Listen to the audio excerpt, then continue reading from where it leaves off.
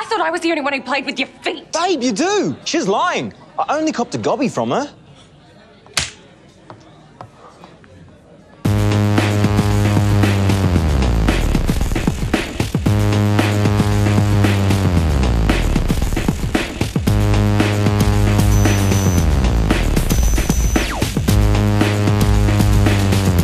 Get them out of here now! You cleaned the house. Yes, I did. Oh my god. Oh my god. The clothes, they're all gone. Did you, Yes. I put them in the washing machine. but did you put, Fabric softener? Yes, I did. 150 milliliter.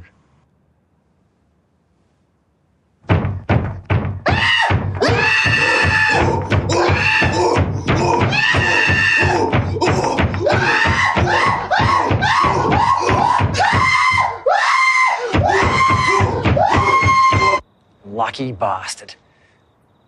Hey, love. Fuck off. thanks for tonight. No, thank you. We had so much fun. We were thinking. We actually really like you too. That's funny because we really like you. No, seriously. You two are really fun.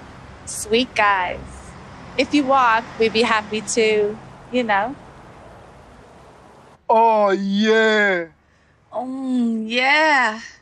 You like that? Yeah, yeah, I do. I love it when it's red in the middle. Oh, it's spilling everywhere. Yeah, here, put this in your mouth and tell me this isn't the best thing you've ever had. Wow. We never thought we'd meet two guys who are as passionate about donuts as we are. So when do we do anal? What?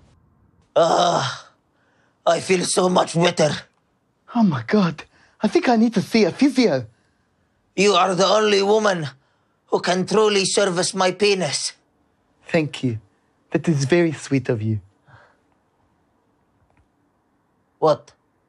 Did you really sleep with all those 500 women? No, no. I just said that to give the boy confidence. It is not true. What about the donkey? No, that is true. But I had to. The donkey would not leave me alone.